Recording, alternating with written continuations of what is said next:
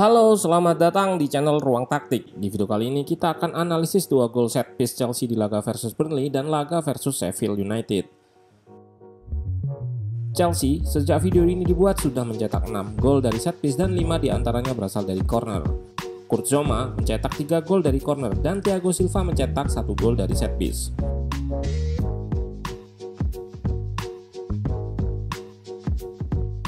Ada peningkatan skenario piece Chelsea yang sangat beragam. Kita akan ambil dua sampel gol dari Zoma dan Thiago Silva. Let's go, kita bahas sama-sama. Gol ini diawali dengan pemain yang berdiri sejajar berhimpitan. Hal ini dilakukan untuk mengelabui man marking lawan. Lalu, dilanjutkan dengan pergerakan bersama-sama ke tiang dekat. Pergerakan inilah yang mengecoh pemain Burnley untuk mengikuti.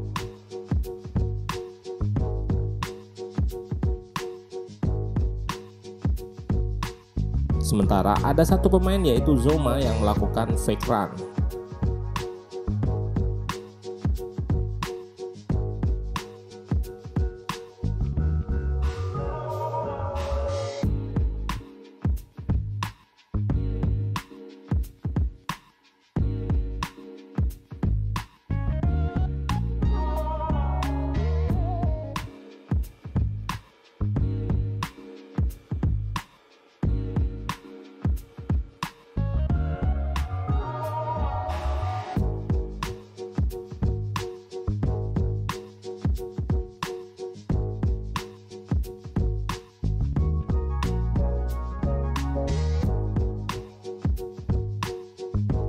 Hot swing kick lebih banyak digunakan Chelsea musim ini, 20 kali.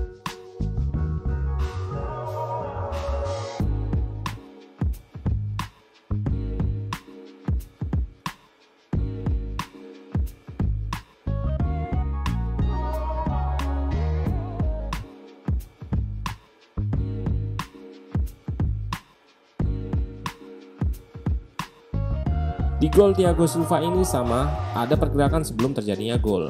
Kali ini blocking yang dilakukan Zoma. Yap, dengan blocking ini pemain yang marking Thiago Silva jadi terganggu dalam melakukan penjagaan sehingga Thiago Silva lepas dari markingnya.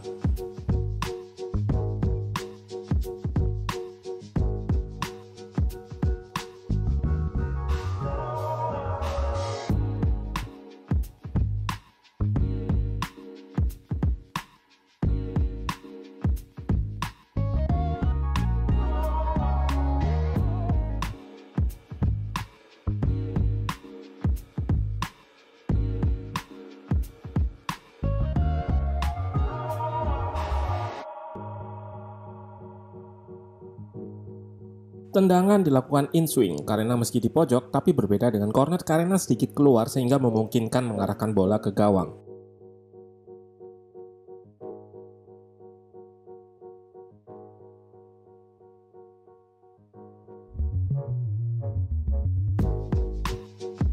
Dan terakhir, rahasia dari meningkatnya set piece ini salah satunya adalah Anthony Barry. Dia yang memperbaiki pertahanan Wigan dan membuatnya lebih tajam dalam hal set piece. Tentunya ini semua kerja tim, namun mengingat backgroundnya sulit untuk mengesampingkan peningkatan ini tanpa jasanya.